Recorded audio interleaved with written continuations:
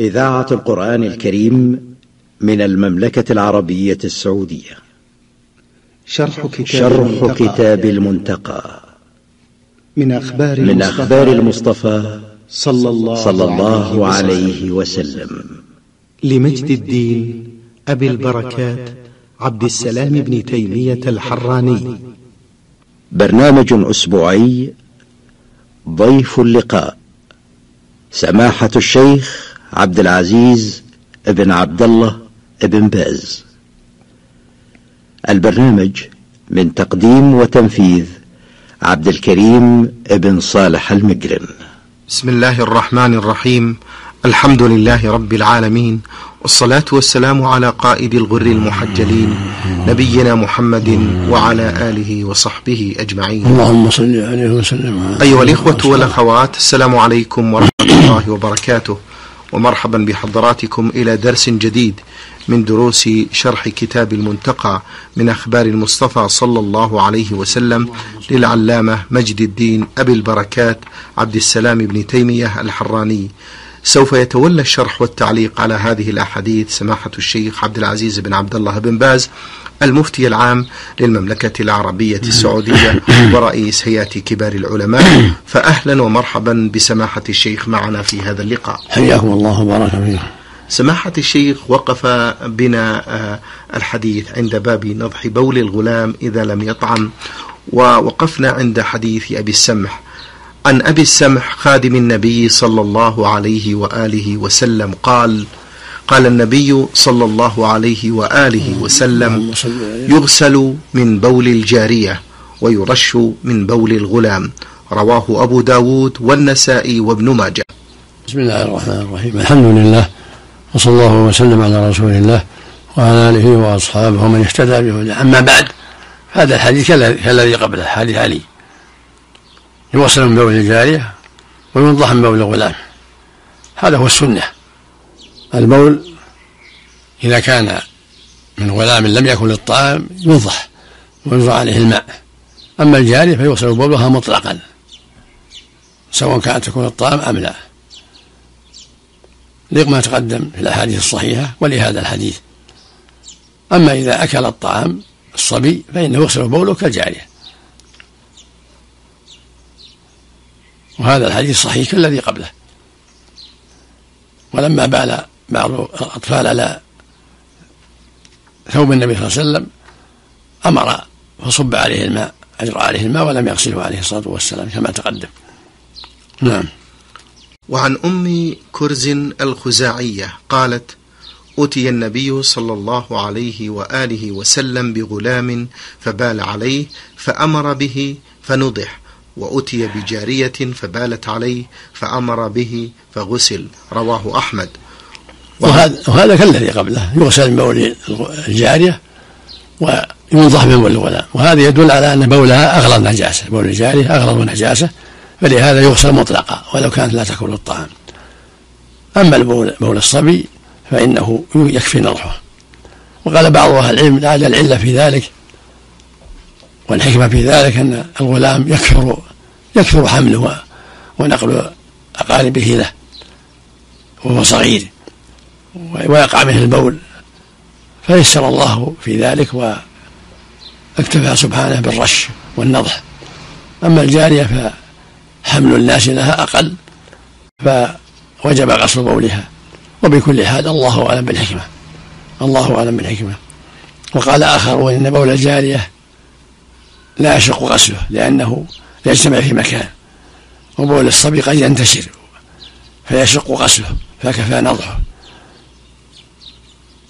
وهذا ليس, ليس ببعيد قول وجيه ولكن لا يعلم الحكمة على الحقيقة إلا الله سبحانه وتعالى. وعلينا أن نعمل بما شرعه الله وإن لم نعرف الحكمة.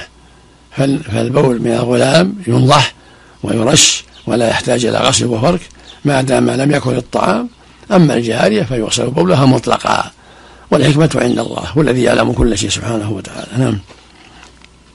وعن أم الفضل لبابة بنت الحارث قالت بال الحسين بن علي عليهما السلام في حجر النبي صلى الله عليه وآله وسلم فقالت يا رسول الله أعطني ثوبك والبس ثوبا غيره حتى أغسله حتى أغسله. حتى حتى أغسله. فقال إنما ينضح من بول الذكر ويغسل من بول الأنثى. رواه أحمد وأبو داود وابن ماجه. وهذا كالذي قبله. نعم. يدل على أن بول الغلام ينضح. بل الجاري يغسل إذا كان لم يأكل الطعام أما إذا أكل الطعام غسل جميعا. سواء كان الطفل من أشراف الناس أو من غيرهم. الحكم واحد.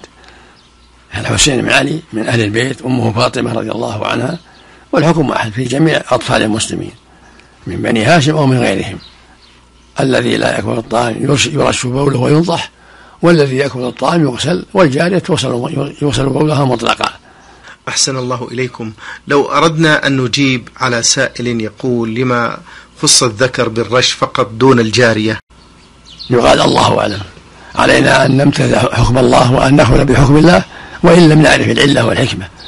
علينا السمع والطاعة. نعم.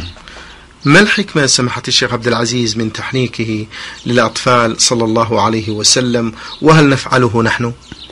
التحنيك مشروع مطلقة. لكن يأتون بأطفال ما لما جاء الله في يده من البركة وريقه من البركة. فإنه لما أتي إليه بعبد الله بن أبي طلحة قال هل معكم تمر؟ قال نعم. فأخذ التمرة ومضاءها ثم جعلها في, في الصبي ثم حنكه. رفع حنك بإصبعه. والتحنيك يعرفه الناس. رفع حنك الصبي الصغير. نعم بالإصبع. ما كيفية الرش؟ وما مقدار الماء الذي يغسل به البول؟ يكون أكثر منه. يكون ماء أكثر. أكثر من البول. يرش بماء أكثر منه. نعم. كما صب على بول الأعرابي ماء أكثر منه لما باه المسجد. باب الرخصة في بول ما يؤكل لحمه. عن أنس بن مالك أن رحطا عكل أو قال عرينة قدموا على رسول الله صلى الله عليه وآله وسلم فاجتووا المدينة فأمر لهم رسول الله صلى الله عليه وآله وسلم بلقاح وأمرهم أن يخرجوا فيشربوا من أبوالها وألبانها متفق عليه. وهذا يدل على أنه يتداوى بأبوال الإبل وأنا ليست بنجس ليست بنجس. ولهذا هؤلاء الذين قدموا المدينة من عكل أو رينة واستوخموها وعظمت بطونهم أمرهم النبي صلى الله عليه وسلم يلحقوا به بالصدقة فيشربوا من أبوالها وألبانها. فذهبوا هناك وفعلوا شربوا من أبوالها وألبانها فصحوا. فدل ذلك على أن أبوالها يتداوى بها من تضخم البطن ومن التوخم الذي قد يقع بسبب بعض الأشياء وأن بولها طاهر وأن لبنها دواء أيضا فإن هؤلاء شربوا من أبوالها وألبانها فصحوا ثم قتلوا رعي النبي واستاقوا الإبل. وخانوا الله ورسوله بعدما عافاهم الله فبعث النبي في آثارهم فأدركوا وجيء بهم النبي صلى الله عليه وسلم فقطع أيديهم ورجلهم من خلاف وتركهم في الحرة في الشمس حتى ماتوا لأنهم في الحال قطعوا الطريق محاربون لله ورسوله نسأل الله العافية.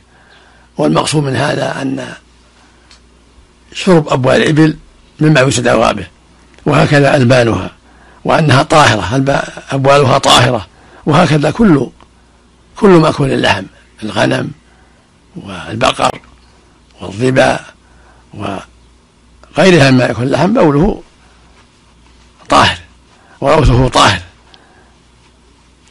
لأن الله أباح أكله فبوله وروثه طاهر. بعر الغنم روث الإبل روث البقر ليس, ليس بنجس.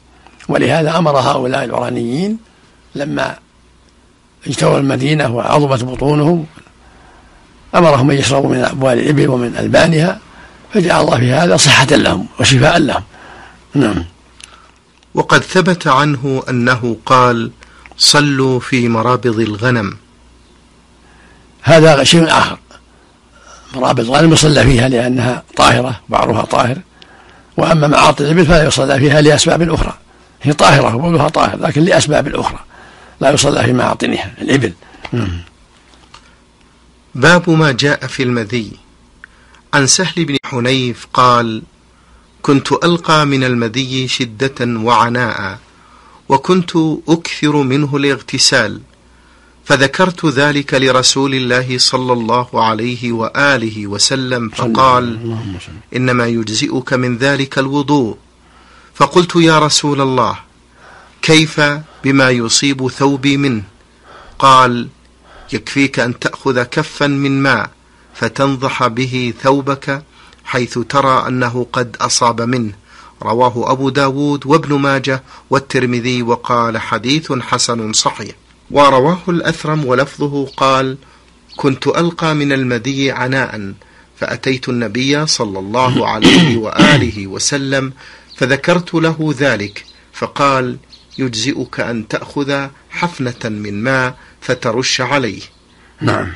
وعن علي رضي الله عنه قال كنت رجلا مذاء فاستحييت أن أسأل رسول الله صلى الله عليه وآله وسلم فأمرت المقداد بن الأسود فسأله فقال فيه الوضوء أخرجه ولمسلم يغسل ذكره ويتوضأ. ولأحمد وأبي داود يغسل ذكره وأنثييه ويتوضأ. نعم. وعن عبد الله بن سعد قال سألت رسول الله صلى الله عليه وآله وسلم عن الماء يكون بعد الماء فقال ذلك المذي وكل فحل يمذي فتغسل من ذلك فرجك وأنثييك وتوضأ وضوءك للصلاة رواه أبو داود. هذه الأحاديث كلها تدل على أن المذي نجس وأنه يغسل ما أصابه ما أصاب الذكر ويغسل مع هذا الأنثى يعني الخصيتان. ولا يجب فيه الغسل لأن المذي ماء لزج يخرج على أثر الشهوة في فيجب غسله. أما المني فهو ماء غليظ يخرج عند الشهوة بدفق فهذا يوجب الغسل. أما المذي وهو الماء اللزج الذي يخرج على أطراف الذكر عند تحرك الشهوة فهذا يجب غسله فقط. كما أمر النبي صلى الله عليه وسلم يغسل الذكر والأنثيان. وما أصاب الثوب يرش بالماء ينضح بالماء ويكفي. كما بينت الأحاديث. وفي حديث علي يغسل ذكره ويتوضأ. وفي لفظ يغسل ذكره ثم يتوضأ. ويدل على أن الاستنجاء يكون قبل الوضوء. يستنجي يغسل ذكره من البول ومن المذي ويغسل دبره من الغائط ثم الوضوء بعد ذلك. ولهذا ذكر العلماء أنه يستنجي ثم يتوضأ. لهذا الحديث وما جاء في معناه. يغسل ذكره ثم توضأ. والمذي نجس لكن نجاسته مخففة. ولهذا قال يكفيك أن تنضح ما ما ترى أنه أصاب الثوب. فإذا نضحه بالماء ورشه بالماء كفى. يعني ما أصاب ثوبه. وأما الذكر والأنثيان فيغسلان. سمعت الشيخ يتساءل الكثير الحقيقة من المستمعين عن الخارج من الذكر من ناحية الطهارة والنجاسة لعلكم تحدثونهم في ذلك. الخارج من الذكر تكون بولا. هذا نجس بالإجماع يجب غسل ما أصابه. يجب الاستنجاء وغسل الذكر وغسل ما أصاب أصابه البول من فخذه أو حوبه أو غير ذلك. الثاني المذي وهو نجس أيضا. لكن نجاسته أخف. فيكفي رش ما أصاب من الثوب أو الفخذ ونحو ذلك. إجراء الماء فقط. مع غسل الذكر والأنثيين. يعني خصيتين. الخارج الثالث المني. وهو طاهر على الصحيح. فإن كان خروجه بشهوة ولذة وجب الغسل. وإن كان خروجه عن مرض فهو كالبول. يوجب الاستنجاء فقط. وأما إذا كان عن دفع ولذة وشهوة فهو يوجب الغسل. أما ما يخرج من الدماء فهو مثل البول يغسل. من الدماء كما لو كان به مرض يخرج من دو من دبرة دم أو من ذكره دم فهو مثل المرأة. يغسل يستنجي عن الدم كما يستنجي من البول. نعم. إذا نفذ المذي من السروال إلى الثوب هل يلزم غسله؟ كله إذا أجرى عليه الماء كفى وإن غسله فهو أكثر أكثر فائدة. وإن رشه بالماء أجرى على الفخذ وعلى الثوب الماء كفى. ما معنى سماحة الشيخ ويعفى عن يسير المذي؟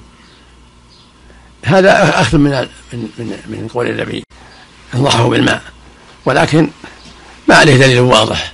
الواجب أن ينضح بالماء ويكفي. لا ليس هناك دليل على إنه يتعمد ترك شيء من المني لكن كون النبي صلى الله عليه وسلم أمر بالنضح استنبط به بعض هذا من الشيء يسير فعله ولكن ليس فيه دليل واضح. بل يرش المحل بالماء بالماء سواء كان فخذا أو ثوبا أو رجلا أو غير ذلك يراق عليه الماء يصب عليه الماء ويكفي والحمد لله. من غير حاجة إلى فرق وغسل. باب ما جاء في المني. عن عائشة قالت كنت أفرك المني من ثوب رسول الله صلى الله عليه وسلم ثم يذهب فيصلي فيه. رواه الجماعة إلا البخاري. نعم. ولأحمد كان رسول الله صلى الله عليه وآله وسلم يسلت المني من ثوبه بعرق الإذخر ثم يصلي فيه ويحته من ثوبه يابسا ثم يصلي فيه. نعم. وفي لفظ متفق عليه. وفي وفي لفظ متفق عليه. كنت أغسله من ثوب رسول الله صلى الله عليه وسلم ثم يخرج إلى الصلاة وأثر الغسل في ثوبه بقع الماء. وللدار قطني عنها كنت أفرك المني من ثوب رسول الله صلى الله عليه وآله وسلم إذا كان يابسا وأغسله إذا كان إذا كان رطبا. نعم. وعن إسحاق وعن إسحاق بن يوسف. وعن إسحاق بن يوسف قال حدثنا شريك عن محمد بن عبد الرحمن عن عطاء عن ابن عباس رضي الله عنهما قال سئل النبي صلى الله عليه وآله وسلم عن المني يصيب الثوب فقال إنما هو بمنزلة المخاط والبصاق وإنما يكفيك أن تمسحه بخرقة أو بإذخرة رواه الدار قطني وقال لم يرفعه غيره إسحاق الأزرق عن شريك. وهذه الأحاديث كلها دالة على أن المني طاهر وأنه إذا فرك وحط كفى إذا كان يابسا. أما إذا كان رطبا فالأفضل غسله حتى يزول أثره. كما بينت عائشة رضي الله عنها وكما ذكر ابن عباس وغيره. المقصود من هذا أن المني في نفسه طاهر فهو أصل الإنسان هذا هو الصواب. فإن غسله الإنسان فهو أكمل وإن فركه وحته كفى ذلك. لكن غسله أفضل حتى يزول أثره ولا يبقى وسخ فيغسل أثره من ثوبه أو سراويله أو إزاره أو غير ذلك وإن فركه وصلى فيه أجزأه ذلك والحمد لله. نعم. جزاكم الله خيرا. سماحة الشيخ ما سبب خلاف العلماء في طهارة المني أو نجاسته؟ أسبابه أنه خارج من موضع البول خروجه من محل البول أوجب الشك في طهارته ونجاسته. لكن لما أقر النبي صلى الله عليه وسلم عائشة على فركه وعدم غسله دل على طهارته. لو كان نجس لم يكفي فركه لأن يبقى له أثر فدل ذلك على طهارته. وأنه إذا غسل فهو أكمل وإن فرك كفى والحمد لله. نعم. بالنسبة للثوب الملوث بالمني ما حكم الصلاة فيه؟ الصلاة فيه صحيحة لكن فركه أولى أو غسله. نعم. والصلاة صحيحة لأنه طاهر. الفرق سماحة الشيخ حفظكم الله في الحديث هل الفرق الوارد في الحديث على سبيل الوجوب أم على الاستحباب؟ على سبيل الاستحباب. نعم. والغسل أفضل. وإن صلى به ولم يفرك ولم يغسل صحت الصلاة. نعم. إذا استيقظ الإنسان ووجد بللا ولم يستطع تحديد هذا البلل هل يغتسل؟ إن ظن إن اعتقد أنه مني وجب الغسل. وإلا كفى غسله فقط وأنه كسائر البول يغسل لأنه بول. فإن علم أنه مني وجب الغسل. باب في أن ما لا نفس له سائلة لا ينجس بالموت. عن أبي هريرة أن رسول الله صلى الله عليه وآله وسلم قال إذا وقع الذباب في شراب أحدكم فليغمسه فليغمسه كله ثم ليطرحه فإن في أحد جناحيه شفاء وفي الآخر داء. رواه أحمد والبخاري وأبو داود وابن ماجه. هذا يدل على أن كل حيوان لا نفس له لا دم له حكم حكم الطهارة. كان ميته وحيه كالذباب والجراد وأشبه ذلك. فإذا وقع الذباب في الإناء سرع خمسه ثم طرحه. لأن في أحد جناحيه داء وفي الآخر شفاء. وكان يتقي بالجناح الذي فيه الداء. فالسنة إذا وقع في لبن أو ماء يغمس ثم يطرح. ويدل هذا على طهارته. لو كان نجس ما أمر بغمسه. وهكذا الجراد وأشباه ذلك. من كل حيوان ليس له ذنب باب في أن الآدمي المسلم لا ينجس بالموت ولا شعره وأجزاؤه بالانفصال. قال البخاري وقال ابن عباس رضي الله عنهما المسلم لا ينجس حيا ولا ميتا. عن أنس بن مالك أن النبي صلى الله عليه وآله وسلم لما رمى الجمرة ونحر نسكه وحلق ناول الحلاق شقه الأيمن فحلقه ثم دعا أبا طلحة الأنصاري فأعطاه إياه ثم ناوله الشق الأيسر فقال احلق فحلقه فأعطاه أبا طلحة وقال اقسمه, اقسمه بين الناس متفق عليه. نعم. وعن أنس بن مالك قال لما أراد رسول الله صلى الله عليه وآله وسلم أن يحلق الحجام أن يحلق الحجام رأسه أخذ أبو طلحة بشعر أحد شقي رأسه بيده فأخذ شعره فجاء به إلى أم سليم قال فكانت أم سليم تدوفه في طيبها رواه أحمد. عن أنس بن مالك أن أم ابن أن أم سليم كانت تبسط للنبي صلى الله عليه وسلم نطعا فيقيل عندها على ذلك النطع فإذا قام أخذت من عرقه وشعره فجمعته في قارورة ثم جعلته في سكة. قال فلما حضرت أنس بن مالك الوفاة أوصى أن يجعل في حنوطه أخرجه البخاري. وهذا يدل على طهارة الآدمي وأن عرقه طاهر وشعره طاهر وبدنه كله طاهر. هذا هو الأصل. الآدمي طاهر مسلم أو كافر هو طاهر. ولهذا أمر النبي صلى الله عليه وسلم أبا طلحة أن يوزع شعر رأسه. النصف بين الناس والنصف. الثاني لأبي طلحة وأهله. ولما كان في يوم الحديبة كان إذا بصق أو تناخى أخذوا بصاقه ونخامته ودلكوا بها أجسادهم لما جاء الله فيه من البركة. وكانوا يستبقون إلى وضوءه من يديه يتبركون بما وقع في يديه من آثار الماء. فالحاصل أن ابن آدم طاهر. ولهذا إذا عرق عرقه طاهر. عرقه في ثيابه في سراويله في بدنه كله طاهر. والله جعل في نبينا صلى الله عليه وسلم البركة في عرقه وشعره وما مس جسده عليه الصلاة والسلام. ولهذا وزع الشعر بين أصحابه. وكانت أم سليم تأخذ من عرقه إذا نام وقام أخذت من عرقه وما يقع من شعره تجعله في طيبها كل هذا يدل على طهارة ابن آدم لأن النبي صلى الله عليه وسلم آدمي فطهارة شعره وعرقه يدل على طهارة شعر وعرق بني آدم. إذ كان لو كان هناك فرق لبينه عليه الصلاة والسلام. لكن اختص هو بالبركة فيما مس جسده من شعر أو عرق أو غير ذلك. نعم.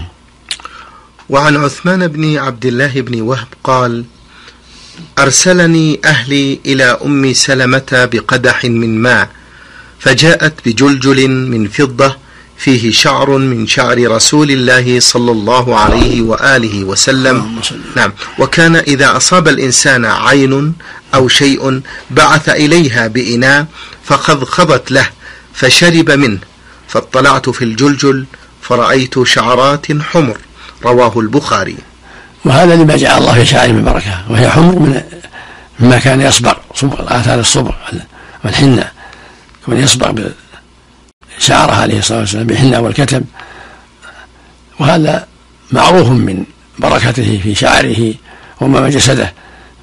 فكانت تجعل في الماء اللي يأتي إليها من هذا الشعر ثم تأخذه لما جاء الله فيه من البركة عليه الصلاة والسلام. وعن عبد الله بن زيد وهو صاحب الآذان أنه شهد النبي صلى الله عليه وسلم عند المنحر ورجلا من قريش وهو يقسم أضاحي فلم يصبه شيء ولا صاحبه فحلق صلى الله عليه وسلم رأسه في ثوبه فأعطاه منه وقسم منه على رجال وقلم أظفاره فأعطاه فأعطاه صاحبه قال وإن شعره عندنا لمقضوب بالحناء والكتم. رواه أحمد. كما تقدم الباب واحد. شعره طاهر وفيه بركة عظيمة عليه الصلاة والسلام. وكان يخضب. بدا فيه بعض الشيب وكان يخضبه. وهكذا الصديق وعمر وغيرهما كانوا يخضبون الشعر الشيب. لقوله صلى الله عليه وسلم غيروا هذا الشيب واجتنبوا السواد. فالسنة لمن أصابه الشيب أن يغير الشيب بغير السواد. نعم.